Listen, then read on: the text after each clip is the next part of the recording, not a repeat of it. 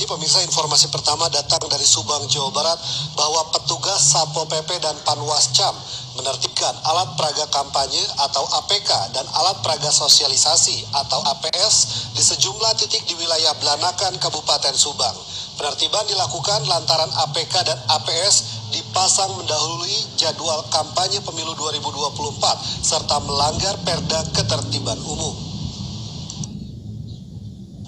Penertiban alat peraga kampanye atau APK dan alat peraga sosialisasi atau APS ini dilakukan petugas dari Panwascam dan Satpol PP Kecamatan Belanakan, Kabupaten Subang, Jawa Barat. APK ditertibkan petugas karena masuk dalam kategori kampanye sebelum waktunya, yakni berisi ajakan memilih dan mencoblos, termasuk pencantuman visi dan misi.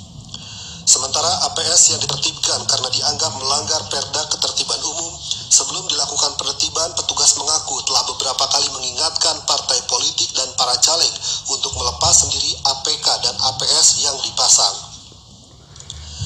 Sayangnya hal itu kurang ditanggapi dengan baik. APK dan APS yang dipasang didominasi baliho para caleg, APK dan APS itu dianggap telah mengganggu keindahan dan ketertiban.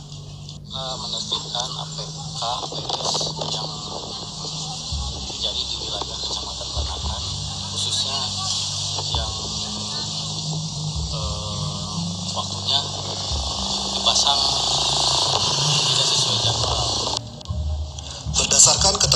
setelah penetapan daftar calon tetap oleh KPU, seluruh peserta pemilu hanya diperbolehkan untuk melakukan sosialisasi dan pendidikan politik. Sementara untuk tahapan kampanye akan dimulai pada 28 November 2023 sampai 10 Februari 2024 atau selama 75 hari.